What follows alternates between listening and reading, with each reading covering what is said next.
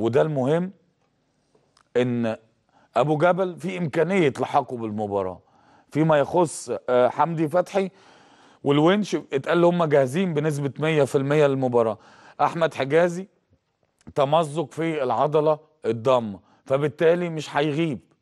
آه، ده ال- الأخبار اللي موجودة وبنحاول نقولها لحضراتكم. ثواني يا جماعة. آه، كمان بنسبة كبيرة كده بعد غياب حجازي بنتكلم على محمد عبد المنعم وحجا والونش هما الأقرب لقيادة الدفاع المصري. عشان حضراتكم تبقوا عارفين التفاصيل. فيما يخص التجهيز بقى للمباراة أكيد بعد المباراه المدير الفني ما يقدرش يعمل تمرينة قوية ما يقدرش يبقى فيه شغل كتير بيبقى فيه حاجة اسمها استشفاء. فاللعيبة بتلاقيها بتعمل بقى تقعد في الجاكوزي يبقى فيه تدليك بس الجاكوزي معانا النهارده في الكاميرون مختلف. وهو ده اللي أنا عايز أعرضه لحضراتكم وده الغريب وده العجيب اللي بنشوفه في عالم كرة القدم. وتخيلوا مين اللي قاعد في المختص ده؟ واحد من نجوم العالم. نشوف الصورة دي معايا كده يا جماعة ومش عايزكم تضحكوا بس والله حاجة يعني صعبة قوي. بصوا يا جماعة اللعيبة الجرادل دي فيها تلج واللعيبة بتبدل. يطلع من الجردل عمرو السولية وبعد عمرو السولية يروح داخل نجمنا محمد صلاح. مين اللي مدينا ظهره يا جماعة؟ تقدروا تعرفوا التالت؟ نقول مصطفى محمد مثلا. ده مش طبيعي ده مش استشفى الله يكون في عون لاعبتنا. دي حاجة ليها علاقة ب... ب... بالخليل كوميدي. والله مش بهزر. فما تضحكوش. و... و... و... وهتعرفوا قد إيه لعبتنا رجالة وبيتحملوا الحاجات الصعبة. إحنا بنتكلم في 2022 آه، الناس الناس بتتطور في العالم بقى جهاز تش- استشفاء بتاخد لو أنت كنت بتاخد استشفاء في يومين ثلاثة النهارده بقى في خلال ساعات. وأنت اللقطة دي مهمة جدا أعرضها لحضراتكم إن لعبتنا المفروض بتعمل استشفاء وتدليك و... أو مساج و... و... وفي الجرادل بالشكل ده بي... بينزلوا في التلج. ويبدلوا واحد ورا واحد دي حاجة صعبة جدا جدا. كمان في نتكلم كمان للأمانة مستوى الفندق اللي بيبقوا قاعدين فيه بيبقى صعب جدا جدا. لكن اللي أنا عايز أقوله وده المهم اللي عايز البطولة بيتحدى الصعاب.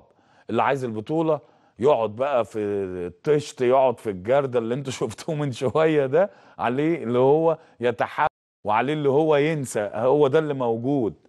هتنام بالشكل ده بقى فيه سحالي فيه حشرات فيه حاجات صعبة جدا. أنا عارف بقول لكم إيه موجودة. أنت مش شايف. خلاص. جندي. سلاحك معاك اللي هو لبسك آه، شنكارك آه، الشوز بتاعك. خلاص أنا مش شايف. وبحمي تيشيرت منتخب بلدي. وبلعب بقاتل على البطولة لأن أنا رسمت الطموح للشعب بالشكل ده. عم أديته مباراتين ولا أروع. رجالة بمعنى الكلمة طبعا. مفيش تقصير من أي حد. وشفنا كل حاجة كويسة من كل حد يمثل المنتخب طبعا. لكن عندنا مباراة مهمة مع منتخب قوي. منتخب ده ملعبه وده جماهيره وإحنا بنقبل التحدي. بس تصريحاتنا منضبطة. وتصريحاتنا بخبراتنا الطويلة لا نقلل من أي منتخب ولا هنقول خناقة ولا معركة ولا حرب ولا الكلام ده دي كرة قدم. كرة القدم منوط بيها دايما المتعة والاستمتاع وامتاع الجماهير واللي أنت تعمل اللي عليك والباقي تسيبه على ربنا زي ما قلنا قبل كده. وده اللي أنا بقى للمرة المليون بقوله للعيبه اعمل اللي عليك. ما تقصرش في sprint. تقلل من الضربات الثابتة حوالين 18 لازم نكمل بنلعب 11 المباراة ما ينفعش تطرد مننا حد. بقاتل بعمل اللي عليا عشان ما اطلعش بعد المباراة أقول أنا كان نفسي كنت ضغطت شوية عشان ما تلومش نفسك قبل أي حد. اعمل ده ولا قدر الله حصل حاجة already كده كده هنسقف لك. عشان أنتوا أظهرتوا معدنكم الحقيقي وعبرتوا عن نفسكم واستفزيتوا فطلعتوا حاجات كويسة ما كناش شايفينها. بالنسبة للمدير الفني وبالنسبة لكل اللاعبين. آه لعبتنا رجالة لازم نثق فيها. إن شاء الله الساعة 11 يوم الخميس كلنا نقول لبعض مبروك وننزل الميادين بقى في الويك إند ده نحتفل ونولع صواريخ ونمسك أعلام مصر ونغني الأغاني الوطنية ونرجع نتجمع من تاني على حب بلدنا وعلى حب تيشيرت بلدنا لأن الرياضة زي ما قلت لكم في الأول بتجمع عمرها ما تفرق. وفي نزعة وطنية عند المنتخب بالذات بصراحة. دي موجودة من زمان قوي بيورثها كل الأجيال. فعشان كده النهارده تقعد في أي مكان الخميس هتروح فين؟ هتفرج على الماتش فين؟ النهارده كل ما وأنا ماشي في الطريق وأنا داخل مدينة الإنتاج الخميس الناس كلها الخميس الخميس خلاص الكل مركز مع منتخبنا. فيا رب. لاعبتنا بعيد بقى عن المشهد اللي أنا وريته لكم من شوية والاستشفاء بالشكل ده صعب جدا على أي حد لأن أنت الاستشفاء ده لازم تريح جسمك خالص ولازم تستخدم الأجهزة اللي موجودة ولازم الشغل يبقى قليل جدا والاسترتش ولو حد عنده شد ولا حد عنده إجهاد في عضلة معينة كل ده من خلال الاستشفاء.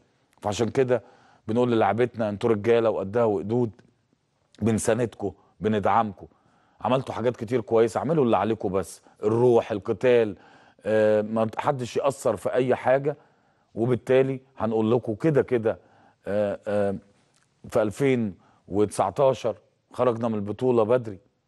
النهارده رحنا في حتة كويسة واديتونا ثقة كبيرة جدا واللي عايز حاجة ما يضغطش على اللعيبة اللي عايز نتيجة كويسة ما تحطش ضغط لأن لما بتضغط الناس ولا تتكلم على ده سلبي وده سلبي وده سلبي موده حتى لأن الناس بقت تتابع البرامج بشكل كبير وبتتابع ال social media وده اللي قاله نجمنا محمد صلاح قبل كده.